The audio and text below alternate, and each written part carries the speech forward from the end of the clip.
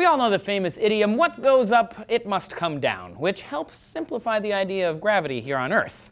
But what about the things not on the Earth?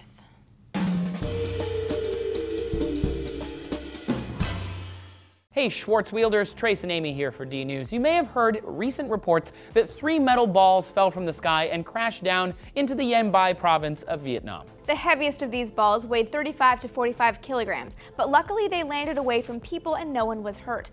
But this brings up the question, is falling debris from outer space something we should be worried about? Well, first off, we should clear something up. These aren't exactly balls from space.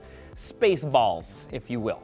Although researchers did determine they were most likely compressed air tanks from a Russian rocket meant for space, they never actually made it there. In fact, a professor from Vietnam's State Space Science and Technology program commented that because the balls were intact, they probably fell from an altitude of less than 100 kilometers, which is the internationally recognized Kármán line, the border of space. If they had come from space, they would look very different. But that doesn't mean stuff doesn't fall from space and come crashing down to Earth, because it does all the time. Everything currently orbiting Earth will eventually make its way back down, and there is a lot of stuff orbiting the Earth. According to NASA, there are more than 22,000 pieces of space junk 10 centimeters or larger orbiting our planet, right alongside tens of millions of smaller pieces.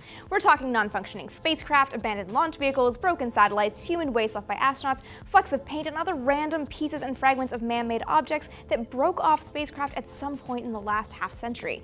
And again, it's all coming down. But don't worry, space junk doesn't pose a real threat to us on the surface because when it enters our atmosphere, it almost always burns up before impact. Okay, well, occasionally some large pieces do survive reentry, but not enough where we should be worried. Nicholas Johnson, NASA's chief scientist for orbital debris, said they find a piece of spacecraft or a rocket body about once a year. That seems like a lot, Johnson. Other estimates say one large object survives reentry and crashes into the Earth about once a week. But most of that stuff falls in our oceans or in large parts of uninhabited land because, well, that's most of the Earth. Remember, Earth is 71% water, and we only inhabit a small part of the remaining 29% of the landmass. According to another NASA orbital debris scientist, the chances of a satellite hitting you is like one in a trillion.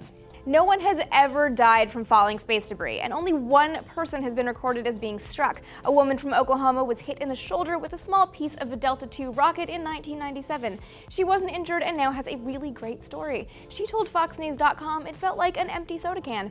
Bottom line is, statistically, you aren't going to get hit with a piece of space junk. However, that doesn't mean space debris is not an actual threat. The real concern with orbiting space debris is the danger it poses to other stuff orbiting the planet, like the International Space Station. In October of 2015, the ISS had to maneuver out of the way of a piece of a Russian satellite that had broken off. Mm, in fact, according to NASA, the ISS has to maneuver out of the way of space debris about once a year. The space debris orbiting around the Earth has an average impact speed of around 10 kilometers per second, so the consequences of a rocket, satellite, or space station floating in the path of a fast-moving, large piece of space junk would be disastrous. NASA scientist Donald Kessler talked about this back in 1978 in what is now known as the Kessler Syndrome, which you might recognize from the movie Gravity. Something hits something, something hits something, it turns into a cascading event, it's bad. Essentially, the more times we go to space, the more space junk we leave behind. The more space junk we leave, the harder it will be to travel to space. So more space travel really kind of means less space travel. Which is why many countries have formed guidelines to ensure future space missions limit the amount of space debris they leave behind. And numerous groups are coming up with ideas on how to clean up space. Ideas like robotic space janitors and Earth-based lasers. Space is awesome.